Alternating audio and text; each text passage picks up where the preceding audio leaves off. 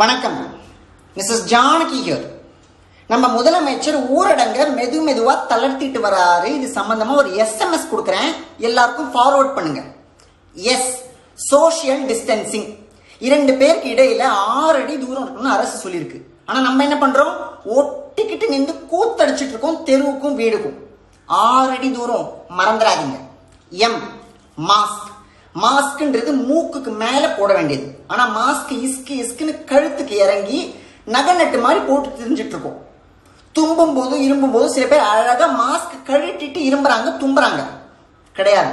மாஸ்க்ன்றது மூக்கையும் வாயையும் மூடணும். அதுதான் அதோட டாஸ்க். அடுத்தது எஸ் சானிடைசர் பொது இடங்களுக்கு போயிட்டு வீட்டுக்கு வந்த உடனே கைகளை சோப்பு தண்ணி வச்சு நல்லா கழுவணும். மூக்கையும் கண்ணையும் கழுவாம நோண்டாதீங்க. இதுதான் என்னோட எஸ்எம்எஸ் தலையை நாட்டாம எல்லாருக்கும் ஃபார்வர்ட் பண்ணுங்க. அரசுக்கு ஒத்துழைப்போம் கொரோனாவை தடுப்போம். வணக்கம்.